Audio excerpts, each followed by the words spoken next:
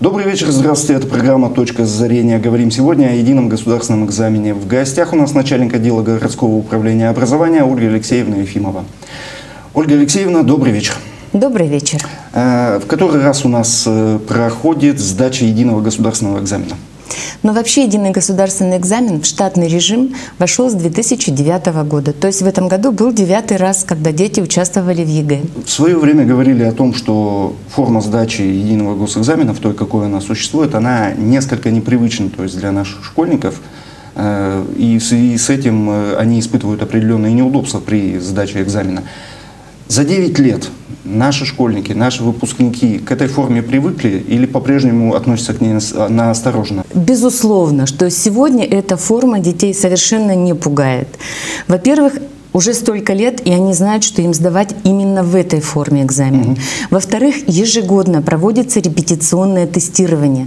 То есть процедура проведения всего экзамена поэтапно. Дети вот просто репетируют. Даже нам не важен результат по русскому языку, какой они получат, по математике на репетиционном угу. тестировании, но они пройдут репетицию процедуры. Поэтому как таковая сама процедура уже во время проведения экзаменов, я думаю, детей не пугает.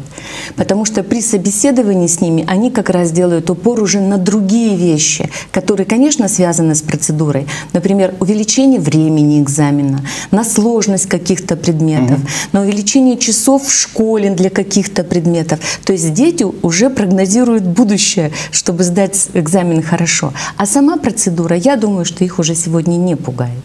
Сколько выпускников э, сдавали единый госэкзамен в этом году у нас? Угу.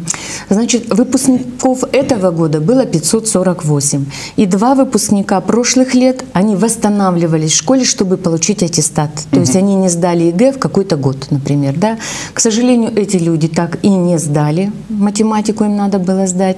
Поэтому будем говорить о 548 выпускниках наших школ города. Один ребенок не явился на все экзамены. У него будет возможность, если он захочет пересдать в сентябре эти экзамены. Угу. 547 детей сдавали экзамены, вот, и они все их успешно сдали. То, То есть 547 детей получили сегодня аттестаты в среднем общем образовании. Теперь давайте поговорим об обязательных экзаменах. Что это за экзамены, как они сдавались, ну и так далее. Значит, чтобы получить аттестат, надо сдать только два экзамена успешно. Это русский язык и математика. Все остальные предметы по выбору дети выбирают для того, чтобы поступить в какой-то вуз.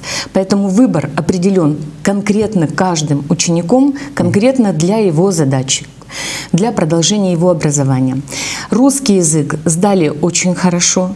Э, средний балл по городу 69,2. То есть он такой примерно стабильный на протяжении последних 3-4 лет. То есть стабильно угу. такой результат. Второй обязательный экзамен математика. Второй, Какие у нас здесь? Да, второй обязательный экзамен – это математика. Математику дети с 2015 года сдают профильный уровень, базовый уровень. Могут сдать и тот, и другой. Для получения аттестата достаточно только базовый. Угу. Вот, для поступления в ВУЗ, там, где надо, ребята сдают профильный. Базовую математику дети сдали просто замечательно. У нас 88% четверок и пятерок. То угу. есть сами представляете, да, какой это высокий процент. Математику профильную сдали чуть похуже, но это сложное уже уровень идет, это поступление в ВУЗ. Но тем не менее, средний балл у нас 45,5 0,3, по-моему. На совещании в области прозвучал областной балл, то есть мы выше областного. Но поскольку пока они нигде не опубликованы, мы сравнивать себя с областью по, не по будем. Профильной по профильной, да, мы сейчас говорим про профильную угу. математику. К сожалению, есть ребята, которые не преодолели минимальный порог, это 8,5%. Угу. Вот. Но у них была запасная подушка, это математика базовая, то есть аттестат они получили. То есть аттестат они все да, получают. Да. Переходим к предметам по выбору. Что у нас в городе у выпускников пользуется популярностью? Какие угу. предметы по выбору? Вот пятерка предметов, которая за последние три года вот просто лидирующая позиция, угу. и они даже между собой не меняют позиции. Угу. Первое место – это общество знания. Угу. В этом году 62%. Это больше, чем в прошлом году. В прошлом году было 52%. На втором месте стоит физика Однозначно. В прошлом году 28, в этом году 28 процентов. Угу. Ну, чувствуете разницу уже, да, 62 и да, 28. Да, да. На третьем месте стоит биология. В этом году 19,7, в прошлом году 16 процентов. Тоже рост идет, да. И на четвертом месте история одинаково 16-16%, и на пятом месте информатика. Но если в прошлом году 8% выбирали, то в этом году 12% ребят выбирали информатику. То есть и подобная ситуация сохраняется на протяжении трех лет? Ну вот, да, по статистике вот эта пятерка предметов даже не меняют они в рейтинге никакой позиции. Ну, все равно, если рассматривать гуманитарные предметы и все остальные, то есть процент э, гуманитарных предметов достаточно высок. Почему? Дело в том, что это же определено сегодня как раз политикой высшего образования.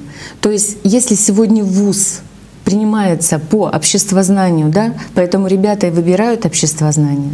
Если географию практически ни в какие вузы не надо, ребята и не выбирают географию. То есть это выбор предметов, он определен. Тут вот однозначно вузом. То есть если в девятом классе можно говорить о том, что я люблю этот предмет, я люблю эту учительницу, поэтому я знаю этот предмет, и я выбираю этот предмет, он пока никак не влияет на их будущее образование. Они идут в 10, в 11 класс, либо в колледж какой-то, да, то в 11 классе вот этот выбор определен только вузами. Если в вузовских запросах произойдут какие-то корректировки в сторону точных естественных наук, то мы непременно увидим конечно. это же и на сдаче Конечно, ЕГЭ. Дмитрий, конечно. Это однозначно. Э, ну а теперь давайте поговорим о результатах э, по предметов по выбору. То есть угу. как ученики справились с этими экзаменами? К сожалению, не могу порадоваться так же, как на русском языке, например, что есть предметы, по которым не все дети прошли минимальный порог.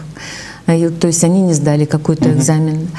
Вот. Но есть предметы, по которым все дети прошли минимальный порог. Нас например? это всегда радует. Ну, например, это литература, что у нас там все дети сдали. Это, например, география.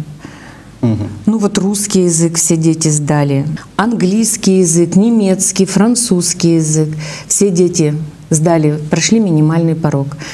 Вот хотелось бы еще сказать про английский язык, например. Да. Почему немецкий, французский не останавливаюсь? Там по одному человеку выбирали, угу. да? То есть как они сдали, так они сдали. На, неме... на всех иностранных языках экзамен проходил в два дня. У них первый день письменный экзамен, второй день устный экзамен. И нас очень радует, что у ребят по английскому языку средний балл по городу он растет, 66 в этом году. Угу. И высокобальников у них 18,6%. То есть это тоже достаточно хороший процент для иностранных языков. А по какому предмету вот у нас самые хорошие показатели? Самый высокий процент высокобальников в городе по информатике. И этот процент растет в прошлом году, в этом году. То есть идет стабильный рост показателя информатики как по среднему баллу, по проценту высокобальников, угу. по проценту сдавших экзамен.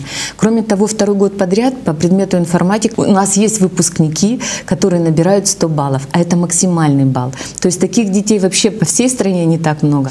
А у нас есть высокобальники. В прошлом году и в этом году по информатике это все седьмая школа. Угу. В этом году у нас еще есть 100-бальник по литературе. Это 21 лицей. Есть работы, которые не 100 баллов, но 98 баллов. Вот. Это тоже высокий результат. Вот, и да. для детей это, я считаю, что это тоже вершина, которую они сумели покорить. Ну вот как в советские времена говорили, хорошисты. То есть вот сколько их у нас? О, пока не знаю, сколько хорошистов, но если говорить вот не про хорошистов, а про отличников, ну, да. то у нас их в этом году много, 54 человека. 54 человека. Да, тоже по сравнению с прошлым годом там было 43 человека. Тоже растет это угу. количество ребят. Мы очень рады, что растет это количество ребят. Рады еще и потому, что эти дети сдают ЕГЭ просто замечательно. То есть они сдают на 98, больше 90 баллов. Редко у кого больше 50 баллов. В основном вот как бы результат у них просто замечательный. И мы рады за них, что у нас есть такие дети. Мы всегда говорим и гордимся этим, что у нас медалисты есть не только в городских, но и в сельских школах. Не угу. только в средних общеобразовательных, но в стат в статусных школах. Понимаете? То есть из всех школ есть ребята-медалисты. И угу. это очень радует. Я считаю, что это хорошая городская позиция образования. Наши выпускники этого года, они будут конкурентоспособны при поступлении в ВУЗ?